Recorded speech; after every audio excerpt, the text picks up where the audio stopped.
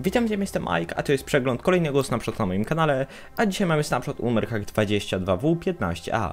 Jest to kolejny snapshot dla Minecrafta 1.19 i tym razem snapshot nie jest jakoś mega ogromny, powiedziałbym nawet, że jest malutki, niemniej jednak myślę, że przeglądzik jak najbardziej Wam się spodoba. Jeśli tak się stanie, to koniecznie zostawcie tutaj, no tak, 100 łapek w górę, będzie mi niesamowicie miło z tego powodu, a już teraz bez zbędnego gadania zapraszam Was do oglądania.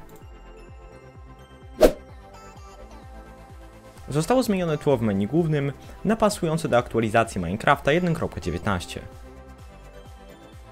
Błoto na namorzynowych bagnach generuje się od powierzchni aż do kamienia. Zdecydowanie częściej na nowych bagnach od tych niskich namorzyn występują te wysokie.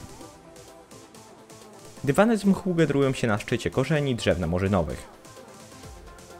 Watering Trader będzie czasem sprzedawał propagulę, czyli nową sadzonkę drzewa namorzynowego. Niemniej jednak jest to na tyle rzadko spotykane, że lepiej opłaca się przejść na nowe bagna i tam sobie tę sadzonkę pozyskać. I również został dodany nowy achievement za przeprowadzenie każdego wariantu żaby na smyczy. Kilka ważnych zmian dotyczących Wardena. Od dziś ten mob ma naturalną regenerację zdrowia, która wynosi 2 punkty zdrowia na sekundę. Warden może wywęszyć teraz gracza z większej odległości. I również do Wardena został dodany atak dystansowy. Gdy taki Warden nie może zaatakować gracza fizycznie, czyli poprzez uderzenie go, może zaatakować zarówno gracza jak i moby przez nowy dystansowy atak.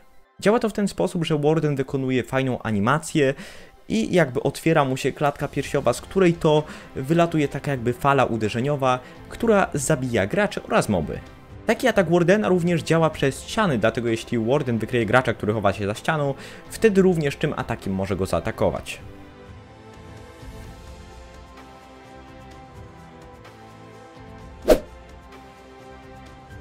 Także to już by było wszystko, mam nadzieję, że dzisiejszy przegląd Wam się spodobał. Jeśli tak się stało, to doskonale wiecie co robić, a już Wam nie zabieram więcej czasu. Dziękuję Wam za oglądanie tego przeglądu. Ja byłem Mike, trzymajcie się i pa pa!